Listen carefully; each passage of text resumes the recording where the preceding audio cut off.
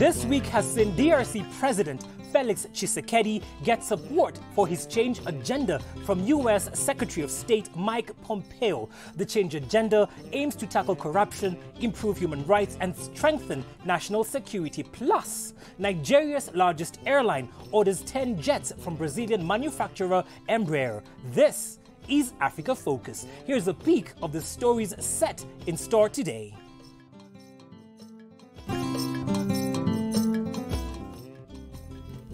Amid ruins lives, Mozambique cyclone survivors deliver babies. In Rwanda, a spring turns into a source of reconciliation 25 years on. Kenyan snake farm owner battles to secure more antivenom as the country grapples with a shortage.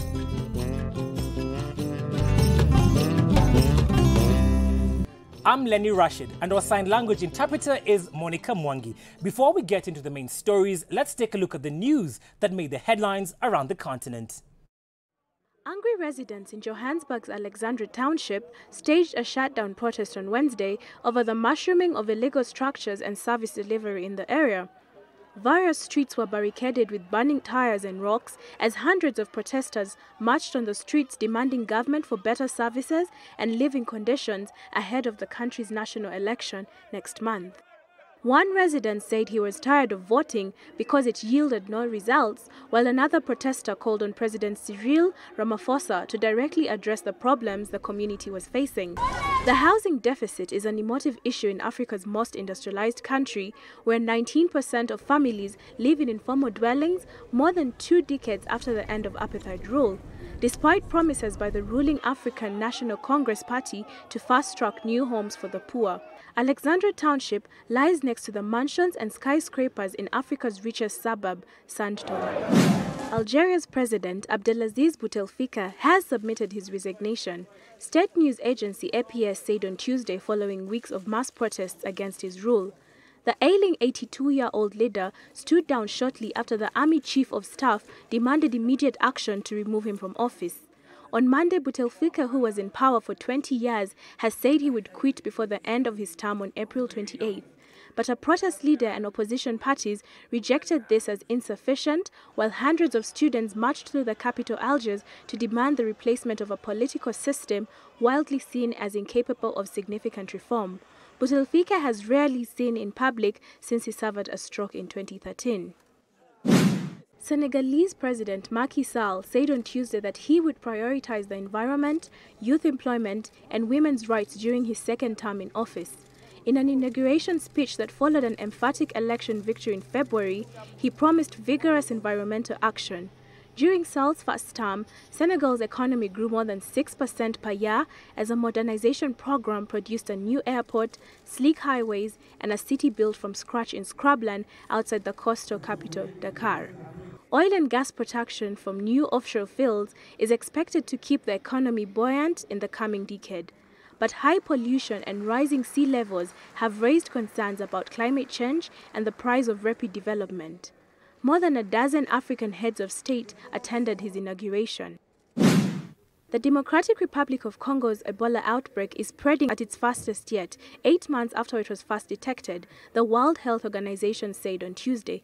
Each of the past two weeks has registered a record number of new cases, marking a sharp setback for efforts to respond to the second biggest outbreak ever, as militia violence and community resistance have impeded access to affected areas. Less than three weeks ago, the World Health Organization said the outbreak of the hemorrhagic fever was largely contained and could be stopped by September, noting that weekly case numbers had halved from earlier in this year to about 26 but the number of cases hit a record 57 the following week and then jumped to 73 last week.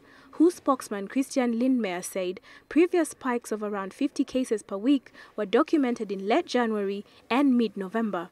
Lindmeier said lack of access due to ongoing violence in some areas and mistrust of the people were the two main challenges facing the World Health Organization. According to the United Nations Population Fund, Cyclone Idai affected more than 75,000 pregnant women with about 45,000 births expected over the next six months. Of those births, 7,000 are at risk of life-threatening complications due to flooding and destructions. Hundreds of people were killed by the storm and subsequent flooding in Mozambique, Zimbabwe and Malawi. In the hard-hit town of Nhamatanda, some 100 kilometers northwest of Beira, the family of Shano Bengala is waiting for their newborn baby to arrive home. But the house where the mother and the baby will be returning to misses a wall and the sun is shining through the bamboo sticks and metal sheets on its damaged roof. Bengala's son Samuel Shao, now seven days old, was born a week after the cyclone Idai smashed into Mozambique on March 14th causing catastrophic flooding and damage or destroyed 33,600 houses across the area. The baby has problems with taking food and has to stay under doctor's watch in a damaged hospital ward. Many families face the challenge as hundreds of thousands of people are in need of food, water and shelter in Mozambique. For those with newborns and expecting the babies shortly, the demand for safety and access to healthcare is even higher. I was very worried because we live very far away in Gorongonza. So when the cyclone arrived, I was worried about my daughter. She already has a big belly, but now unfortunately, I'm happy as the baby is born. Cyclone Idai affected more than 75,000 pregnant women, with 45,000 births expected over the next six months, according to the United Nations Population Fund. Of those births, 7,000 are at risk of life-threatening complications due to flooding and destruction. Women in Sofala province, where some areas are still flooded and roads and bridges destroyed, may need surgeons to help deliver their babies safely. Some of them may not be able to reach hospitals, many of which, like the Nhamatanda hospital, are seriously damaged, lack supplies and are short-staffed. The situation is better, but there are still women delivering on the roads on the way here, despite better access that we have now. The second largest medical facility in Sofala province is serving the population of 34,000 people and some of the villages still have no way to reach for medical help in case of emergency. We still don't have aid in full totality. I still feel the need for more resources to be able to transfer patients here. With 1.85 million people affected by the cyclone in Mozambique, the government with help from abroad struggles to restore basic maternal and child health care. The region may also have lost infrastructure worth more than 1 billion in the disaster, including damage to the Mozambican port of Beira, the coastal city where the cyclone came ashore, according to the UN Economic Commission for Africa. But for Bengala's family, all they want is to have their son with them. For years, the residents of Giheta and Ruseke lived peacefully, sharing the same water source between the two villages. The horrors of the 1994 genocide changed all that. As Rwanda spiraled into horrific violence, 25 years on, the water source is bringing the once divided villages back together. For years, this water point brought together the villages of Ruseke and Giheta, a shared source of life, until the 1994 genocide. In 100 days, 800,000 people were killed in Rwanda, most of them from the Tutsi minority. Defroza lost her husband and son. It was a big surprise for us because these were people we used to socialize and drink with, people that were helping each other, inviting each other to weddings without any issue. It was so surprising.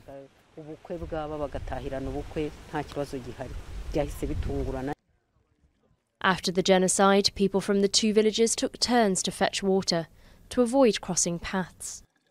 It wasn't until 2005 that the first rapprochement between the two communities began. Jean Claude was one of the first to attempt reconciliation by convincing his fellow Giheta residents to help the people of Ruseke with their farming. Asking for forgiveness was not easy at all.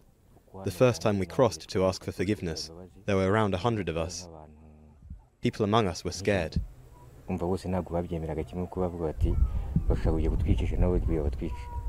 Years later, Jean and Refosa live in peace, but for some, painful memories persist. Josepha is the only survivor of her family. Nobody has come to ask her for forgiveness. Today, she accepts the process of reconciliation, but only out of fear of being sidelined. For someone to admit to the crimes he committed only to the authorities without returning to ask for forgiveness from his victims, do you think that is enough? It's far from enough. 25 years after the genocide, the pain lingers, but the younger generations hope to move forward. Children from the two villages were the first to gather together at the water point. Inhabitants of Giheta continue to help farm the lands of their Ruseke neighbours and the spring has once more become a source of shared life. Kenya boasts some of the world's deadliest snakes. Among them are the green and black mambas and spitting cobras. As in other poor rural areas of Africa, Latin America and Asia, venomous snakes pose a public health risk that experts such as Royjan Taylor, director of the Bioken Venomous Snake Center, says has been neglected for far too long. Snake bites pose a serious health risk, especially among those living in arid and bushy areas. Kenya boasts some of the world's deadliest snakes, key among them puff adders, Gabon vipers, red and black spitting cobras, black mamba, green mamba, and boomslang, among others. According to Snake Bite Rescue Rehabilitation and Research Center, 300 to 500 people are admitted every month due to snake bites across the country. But many end up dying or losing their limbs because they cannot access antidotes. Quite frankly, whether you're driving a Mercedes Benz or you're pushing a cart in the back end of nowhere, if you're bitten by a snake, you should be taken care of. Considering that in this day and age, you have a father who's had to sell everything he has to be able to pay for a hospital bill of his daughter to get her out of hospital is ridiculous. You can't have a situation in today's life where people are suffering like that just because they stood on a stake. Antivenom production method has changed very little since it was developed by French immunologist Albert Calmette in the late 19th century. It remains painstaking, time-consuming process, although researchers are working to develop synthetic alternatives. To produce the antivenom, a technician has to first milk a snake's venom in a dangerous maneuver that sees them hold the animal's head still while it bites a cup covered in a plastic film, releasing its poison. A small amount each time into the container. Small venom doses are then injected into a large domestic animal, usually a horse, to trigger an immune response and the production of toxin-attacking antibodies. After several doses over a period of about a year, the horse produces so many antibodies that it becomes immune to the venom, at which point blood can be taken from the animal. An antivenom, however, usually works only for specific species or small group of species of snake. A key challenge, especially in poor, remote areas of the world where most snake bites occur, is that most antivenoms needs to be refrigerated. See, FAV-Afrique um, pro stopped producing antivenom because there is no money. And the problem is, as the world doesn't look at this problem, it is the poor person at the end of the line in the community that cannot afford it that's the person that's bitten. But unfortunately, they're not the customer. They're actually the end user. And therefore, governments and the international community really should pick that up because it's the right thing to do. The WHO has launched a massive review of the availability, efficacy and safety of snakebite serum available in Africa where the majority of countries have no effective or affordable antivenom at all. Coming up after the break. We are in Dubai for the city's fair as African art is put under the spotlight. We're about to pay some bills. Don't touch that dial. Keep it switch.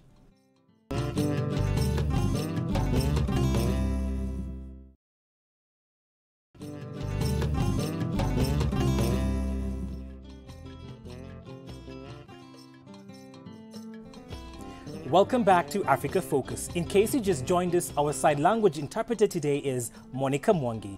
Now, rising artists from countries such as Lebanon, Morocco, and the United Arab Emirates harness millions of views on YouTube while singing in their own dialects. A case in point is Egypt's music scene, which remains vibrant with the electro shaabi music, an exuberant popular blend seen by purists as too raucous.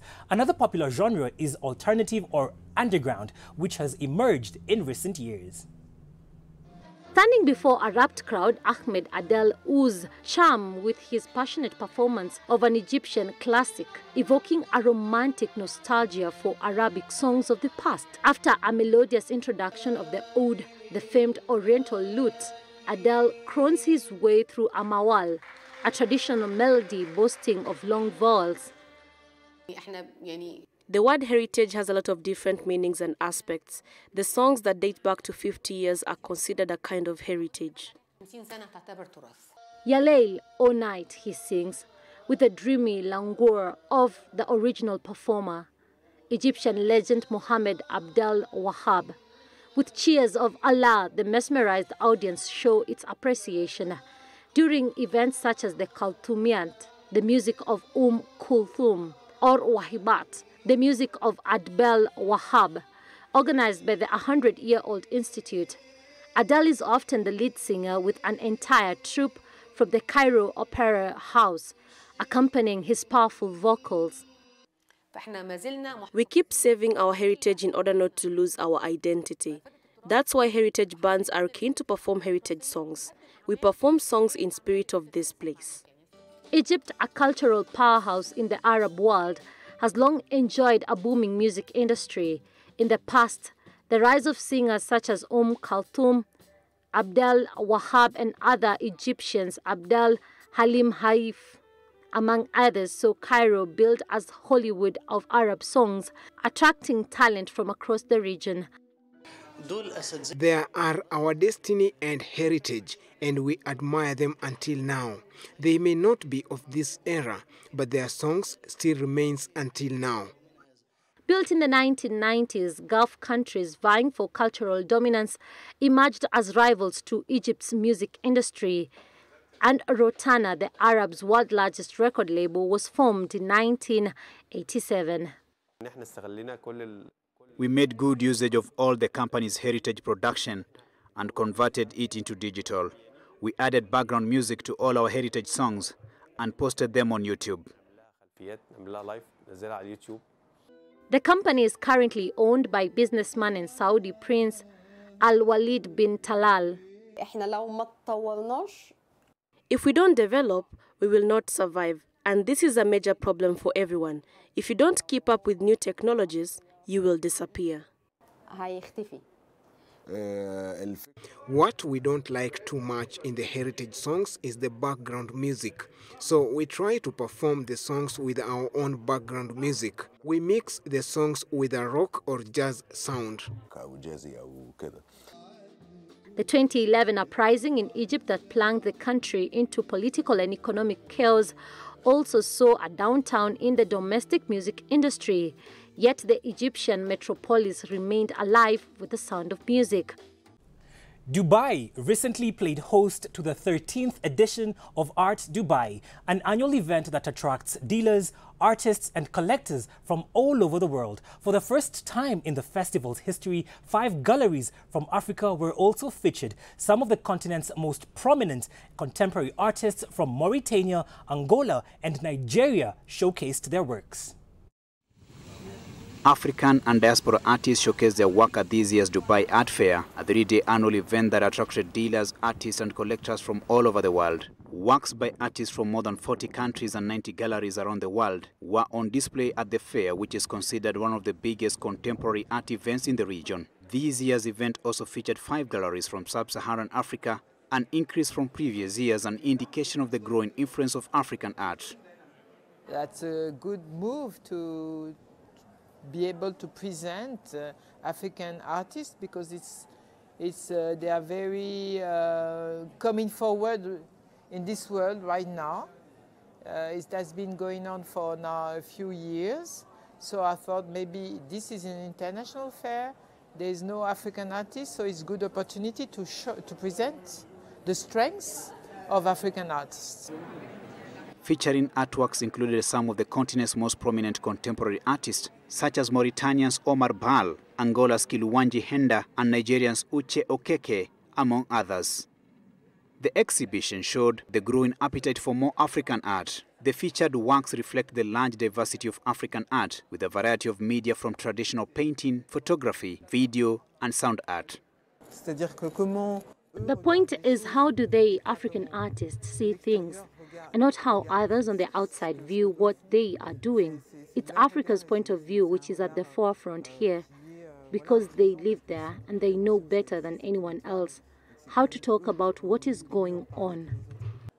The fair also displayed Bawwaba or Getaway in Arabic, a special section featuring 10 solo presentations showcasing works by artists either based in or focused on projects about Africa, Latin America, the Middle East, Central and South Asia. French Cameroonian Bawwaba curator Elise Atangana said an African section of the fair not only gave a chance to widen Africans' connection to the international scene, but also enabled African artists to interpret their artistic expressions in their own voices. Up until now, I have concentrated on art fairs or contemporary fairs that are solely about Africa. So it seems timely to us to open ourselves to the world. So the idea is to widen our horizons, and we consider Dubai to be the right place. Kenya's Wanja Kimani was one of the 17 African artists who featured at the fair. Kimani, whose works explores themes of cultural adherence, identity, and migration, says cross-cultural exchanges like the art fair can go a long way in strengthening African artist visibility. I think there's a mutual interest between the Gulf and Africa. And I think it's been a historical interest um, that is now growing so that Africa can be more of a um, can be more advantageous at this time rather than historically. So when it comes to culture, it's only natural that that will follow the economic interest in Africa. Art Dubai is part of the cultural event Art Week. Triggerfish is a South African studio that is redefining animation movies on the African continent. Based in the coastal city town of Cape Town, it is currently the largest animation studio on the continent producing African-themed stories with the aim of penetrating the global entertainment industry. The Adventures of Zambezia is an animation film lauded by critics for being among the best South African animation films ever created. Maybe it's time I did. The film, which was released in 2012, was made and produced by Triggerfish Animation Studios and went on to make over 34 million US dollars at the box office, cementing the company as a trailblazer in African animation movies. I think animation is the it's, it's the kind of grandest type of storytelling. So you can do anything. It's uh, whatever you can imagine, you can create, and you can use metaphor and talking animals, and so there's just a, a it's a, a great way to communicate because you can bring across stories that can't be told in any other way. The company's founders say that they wanted to create a diverse narrative for African children where they can see themselves represented on the screen and have an alternative to foreign animations. A lot of the content we do get uh, that does get produced in this medium is very Eurocentric um, and quite Western, and I think there's definitely uh, a, a, big value in, in, in diversifying that content in, in this industry, and also sort of uh, there's a lot of uh, Afrocentric stories that can be told and that have that can really uh, sort of give productions a very high value. With a slew of accolades, including a 2018 Academy Award nomination for Best Short Film and numerous South African film awards, Triggerfish is now at the forefront of the industry. So, Triggerfish have been going for quite a while. They've I'd say that they've managed to produce features where other people, where others uh, have been unsuccessful. So they're creating and producing their own content, which is fantastic, uh, within the feature space, which is huge. Um, they they're also they've just opening up a Triggerfish Academy, which is fantastic because they really are all about growing uh, and developing skills. Um, and yeah, so they they now are going to be doing that, uh, which is really cool. It is in the process of establishing the Triggerfish Academy, an initiative between the Walt Disney Company, which will teach industry based skills to young people who may not have the means to follow a career path in animation. Triggerfish also recently moved into the gaming industry, establishing itself as a player in another budding South African market. On Africa Focus, we love hearing from you, so make sure you get interactive with us on our various social media pages. Remember, you can also view this program along with a wide array of other programs on DSTV channel 268 and on AZAM channel 138. On behalf of the entire team here on Africa Focus, thank you for keeping us company on this exciting journey. Enjoy the rest of your viewing.